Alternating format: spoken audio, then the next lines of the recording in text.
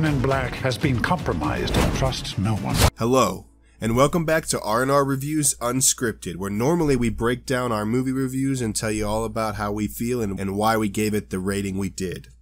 Today we're going to talk about huge greedy production companies that like to reboot and respin every single franchise they have and ruin all of the good things from our childhood and younger days. Also known as Men in Black International. Welcome to the Cinema Club.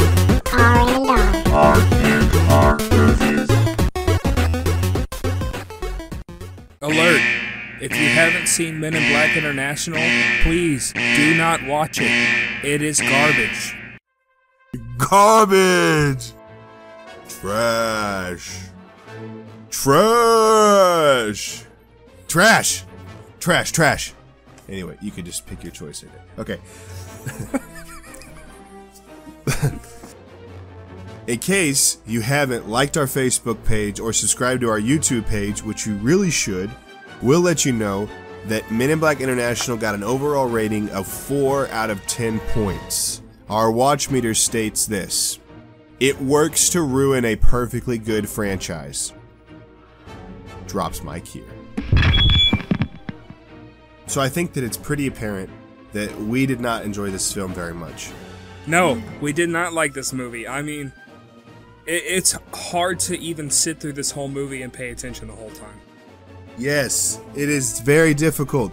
It, it they literally like just force the story.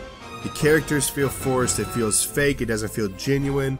It feels like they violated Men in Black. They just violated it, all for the sake of money. That's all they care about. They don't care about art. They don't care about what is a perfectly good ending to an already three movie franchise. They just had to go in and try to mix it up and do this whole 2019 thing again, and it's just, ugh. The only thing they did right in this movie was not ruin my characters from the other movies. By not touching that timeline or anything up it. Yes, I agree. That's the only thing that was good about it. I mean, we our our rating, well, to be honest, it's not the lowest we've given.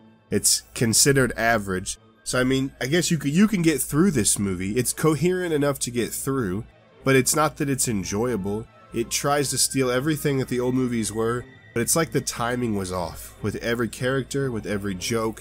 It just it's just not not good. It feels like there's hardly any action in this movie as well. It's like, where's the action? Where's the alien fighting? We're gonna wait till the end to do all that? They just copied what what had already been done.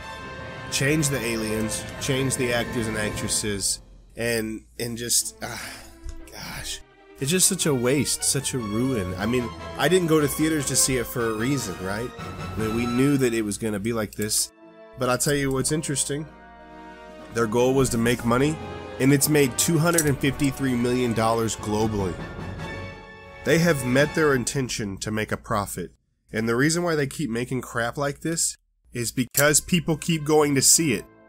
Yeah, but I mean, it could have just made money because people were going to see it that hadn't heard nothing about it and thought it was going to be good and then watched it and was like, ah, this sucked. I guess that's a lot of money, though. It's like Jurassic World 2. The movie only made money because Jurassic World was so good. I was super disappointed with that, but we won't get into that right now. There is one thing that uh, definitely deserves credit here, as he always does, and that's Danny Elfman. Okay, don't diss on Danny. He is like the third best composer of all time. And he does bring the only thing that's nostalgic about this film that relates it to the other films. And by third, we mean third, because uh, George Williams will always be the first. Even though his name is John Williams. I meant to say that. I'm so sorry. Take that out. Take it out. I'm not taking that out. There you are. I'll cut it out if you don't. John. John Williams is the first, followed by Hans Zimmer. Clearly. Anyway, we don't have much more to say about this movie. It sucked. Don't see it. Don't waste your money. Don't waste your time. If you've seen the first three, great. If you haven't, go watch the first three. Second one's eh. It's okay. But the first and the third especially. And, uh, and once you've seen those, then don't ever watch this. Right. Well, guys, that's all the time that we have for you today. So make sure you check us out on Facebook, like our page, subscribe to our YouTube page, leave a comment. You can always email us at rogerscinemahood at gmail.com. Tell us what you want us to review or why you do or you don't like what we're doing. But until next time, we'll see you then. And remember, it's a beautiful day in the cinema hood.